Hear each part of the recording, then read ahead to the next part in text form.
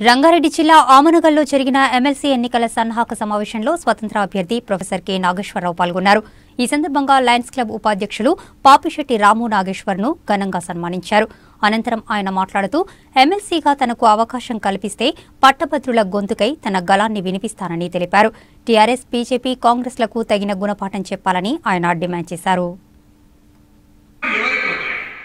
నేను ఈ మధ్య కిషన్ రెడ్డి గారి స్పీచ్ ఉన్న తర్వాత అంతరపై పోయి పడి గౌరవనీయులు కేంద్ర మంత్రి కిషన్ రెడ్డి గారు చెప్పినట్టు చేయండి అని ఏం చెప్పారు కిషన్ రెడ్డి గారు? ప్రశ్నించే గొంతులకు ఓటు వేయండి అని అడిగితే మీరు యూట్యూబ్లో యూట్యూబ్లో కిషన్ రెడ్డి మీరు వాళ్ళ అభ్యర్థి నామినేషన్ అప్పుడు మాట్లాడింది చూడండి. ప్రశ్నించే గొంతుకకు ఓటు వేయండి. ప్రజా సమస్యలపై పోరాడే వ్యక్తికి ఓటు వేయండి అని ఇచ్చాడు ఖచ్చితంగా మనమంతా కిషన్ రెడ్డి గారి మాట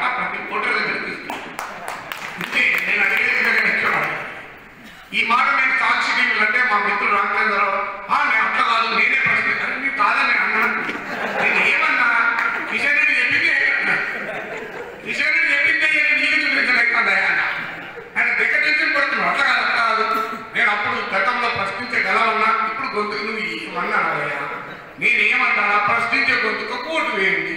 పట్టణంలో ఎవరు ప్రశ్నించే గొంతుకు వాళ్ళ కోటు నీకచ్చే నాకైతే కష్టం పెట్టా సింపుల్గా నేనైనా నువ్వైనా ఇద్దరం జాయింట్ మీటింగ్ అటెండ్ అవుదాం.